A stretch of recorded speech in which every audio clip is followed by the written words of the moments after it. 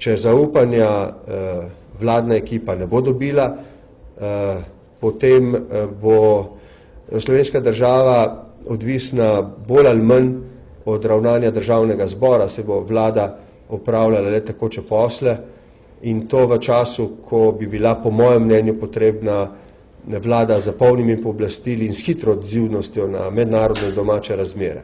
Ampak to ni moja stvar. Moja stvar je, da po najboljših močeh predstavim listo kandidatk in kandidatov za popolnitev ministerskih položajev.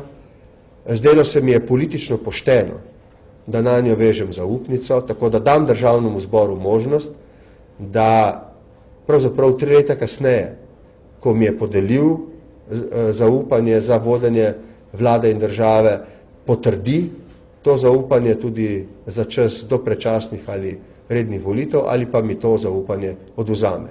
Do takrat bi rad zagotovil našim državljankam in državljanom, ne bom niti ene minute okleval pri tem, da bom storil vse tisto, kar je v mojih pristojnostih in v korist uh, ljudi in njihove blaginje.